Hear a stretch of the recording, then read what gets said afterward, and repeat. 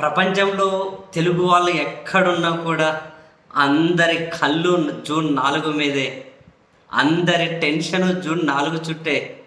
So ఆ June నాలుగు మరికొన్ని గంటల్లో ఫలితాన్ని ఇవ్వబోతూ ఉంది. అయితే ఇక్కడ మీరు ఎంత టెన్షన్ అయినా పడి ఉండవచ్చు ఎంత ఉద్వేగానికైనా గురి అయి ఉండవచ్చు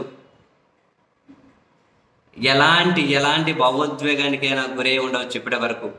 బట్ ఫలితాలు వచ్చిన తర్వాత మాత్రం ప్రతి ఒక్కరికి నా ప్రధానమైన రిక్వెస్ట్ ఏంటి అంటే సంయమనం పాటించడమే.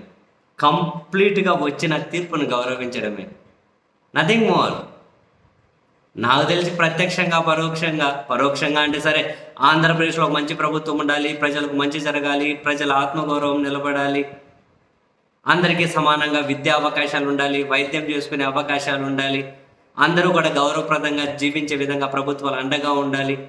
బేసిక్ రిక్వైర్మెంట్స్ అందరూ ఉండడానికి కాసింత గూడు కావాలి. అందరికీ ఏదో కాస్త కోస్త ఇల్లు కట్టించాలి. ఇది మినిమం రిక్వైర్మెంట్స్ సో ఏ ప్రభుత్వం వచ్చినా ఈ మినిమం రిక్వైర్మెంట్స్ చేయాలని చెప్పే ఏ పార్టీ వాళ్ళైనా కోరుకోక తప్పదు. జూన్ నాలుగు ఫలితాలు వచ్చాయి. అయిపోయింది. సరే ఫలితం ఎవరి వైపు వస్తుంది అనేది అఫీషియల్గా రేపు తేలుతుంది అయిపోయింది. తర్వాత ఈ వాటి మీరుగా నేనేం చేస్తాను సేమ్ నా పని నేను కొనసాగించుకుంటూ ఉంటాను. ఇప్పటి వరకు నేను ఏదైతే మంచి అని నమ్మానో జూన్ నాలుగు తర్వాత కానీ అదే మంచి అని నమ్ముతాను దాని మీదే స్టాండ్ అవుతాను నా ప్రొఫెషన్ నా పని నేను కంటిన్యూ చేస్తాను. అమ్మ మనమేమి మనమేమి ఏమంటారు? మూడు నెలల కిందటి వరకు ఒక మాట ఎగ్జిట్ పోల్ వచ్చేందుకు ఒక మాట పేపర్లు పట్టుకొని ఇది మొన్నటి వరకు చెప్పింది ఇది మంచి ఇది చెడ్డు ఇది కాదు. మొన్న ఒక నిర్ణయం తీసుకొని నిన్నటికి అది మార్చుకొని ఈ రోజుకు మళ్ళీ మార్చుకొని రేపు ఎవరు అధికారంలోకి వస్తారు చూసుకున్న తర్వాత దాని ప్రకారం మళ్ళీ నిర్ణయాలు మార్చుకొని ఇట్లా అడ్డదిడ్డమైన నిబద్ధత లేని నిలకడ లేని తన మాట మీద తానే నిలబడుకోలేని ఇటువంటి రకమైన జర్నలిజం మంది కాదు. మంది కాదు. ఇప్పటి వరకు ఎట్లున్నారో చూడాలి తర్వాత కూడా అట్లనే ఉంటాం. ఇప్పటి వరకు ఎలాంటి నిర్ణయాలకైతే పేదలకు మంచోళ్ళకు పేదలకు మంచి చేసే నిర్ణయాలేవో ఆ నిర్ణయాలకు ఎట్లయితే ఎంత స్ట్రాంగ్గా మద్దతు ఇచ్చామో ఇప్పుడు అట్లే ఇస్తాం ఏం మారవు కదా? ఎట్టి పరిస్థితులు మారవు. మారడం ఏంటి? ఎప్పుడైనా అల్టిమేట్గా మనిషి ఆత్మగౌరవం కోసం పేదోడికి మంచి జరగాలి. పేదోళ్ళ పిల్లలకు పేదరికం వల్ల వాళ్ళు వాళ్ళ భవిష్యత్తును కూడా కోల్పోయే పరిస్థితి రాకూడదు. సరే మన సిద్ధాంతాల గురించి మనం చాలాసార్లు మాట్లాడుకున్నాం. సో జూన్ నాలుగు తర్వాత కూడా అదే అదే స్టాండ్ మీదే మనం ఉంటాం. మీరైనా అంతే. ఏం పని చేసుకుంటారో ఆ పని కొనసాగించుకుంటూ ఉంటారు. ఏదైనా అదిగో జగన్ వస్తే రాష్ట్రానికి మంచి జరుగుతుందని చెప్పి మీరు నమ్మి ఉంటే మీ నమ్మకం నిజమైతే సంతోషపడండి. మీ నమ్మకం నిజం కాలేకపోదు అనుకోండి. బాధను కంట్రోల్ చేసుకోండి. ఎలాంటి ఉద్వేగాలకు లోనవ్వకండి. మళ్ళీ జీవితాలు ఇబ్బంది పడే విధంగా ఎలాంటి హింస రిలేటెడ్ దానికి పాల్పడకండి. ఒకవేళ చంద్రబాబు మంచి చేస్తారని చెప్పి మీరు నమ్మి ఉన్నారు. మీ నమ్మకం నిజమైంది అనుకోండి.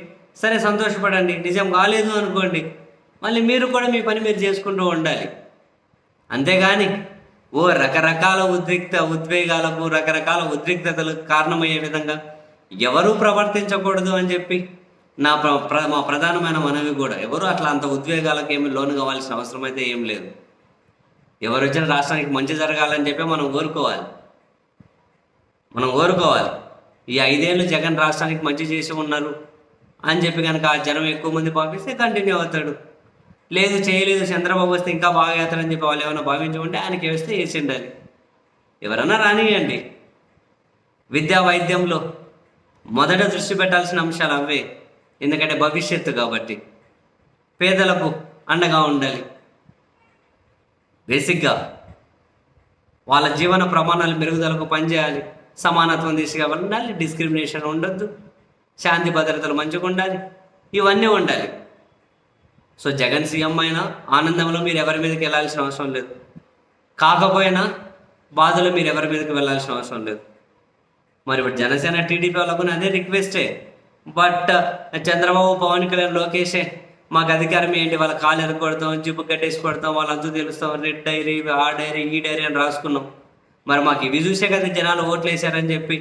వాళ్ళు ఏమన్నా కనుక దానికి అంటే వాళ్ళ దగ్గర అటువంటి సమాధానం ఉంటే మనం ఏం చేయలేం. ఎవరో ఏం చేయలేరు.